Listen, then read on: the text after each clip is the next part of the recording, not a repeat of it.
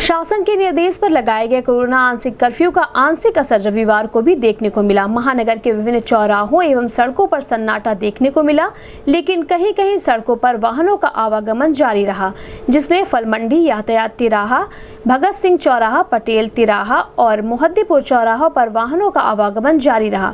वहीं traffic police द्वारा मोहद्दीपुर पर चौराहों पर पैडलेगंज की तरफ़ से आने वाले छोटे बड़े वाहनों का चेकिंग किया गया तथा सीओ ट्रैफ़िक जगत राम कन्नौज कनौजिया ने लोगों से कोरोना कर्फ्यू के नियमों का पालन कराते हुए कोरोना संक्रमण के बचाव के प्रति जागरूक भी किया।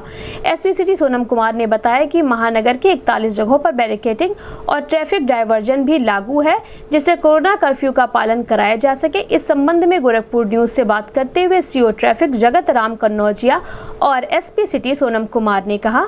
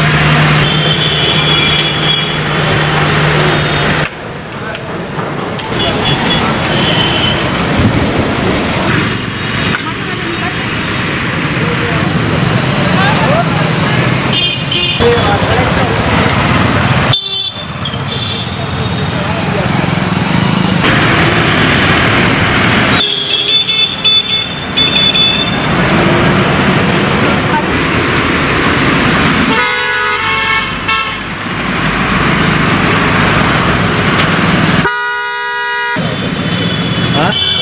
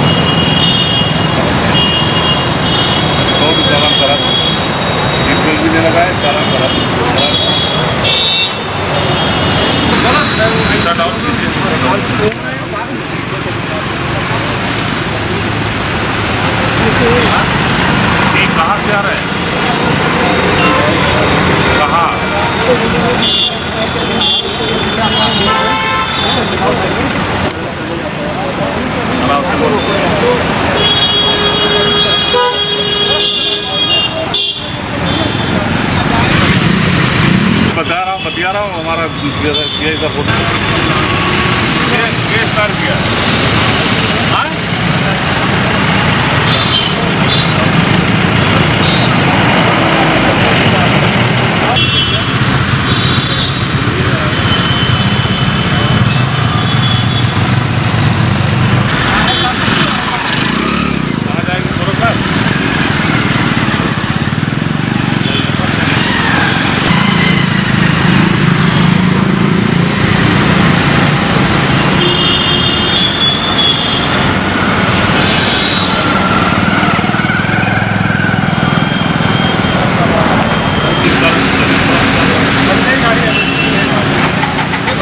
कोरोना कर्फ्यू को लेकर के चेकिंग की जा रही है, जो अनावश्यक रूप से घूम रहे हैं, उनके खिलाफ कार्रवाई की जा रही है और उनको जागरूक किया जा रहा है कि अनावश्यक रूप से शहर पर न घूमें, उन्हीं उसी लिए निकलें, कोई अनावश्यक सामग्री, कोई अगर आपको दवा लेना है या कोई इमरजेंसी कोई आपको है, उस समय आप घर से बाहर निकलें, अन्यथा घर से बाहर न निकलें, सुरक्षित रहें।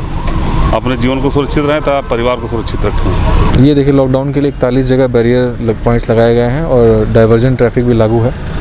और सभी जो सी हैं सभी एडिशनल एस अपने क्षेत्र में निकल रहे हैं लॉकडाउन का पालन करा रहे हैं। सर जो अनावश्यक निकले क्या कार्रवाई की अनावश्यक जो लोग निकल रहे हैं उन पर मास्क अगर नहीं पहना तो मास्क के चलक कार्रवाई की जा रही है। उनकी गाड़ियाँ सीज की जा रही हैं और जो भी विधिक कार्रवाई वो की जा रही है।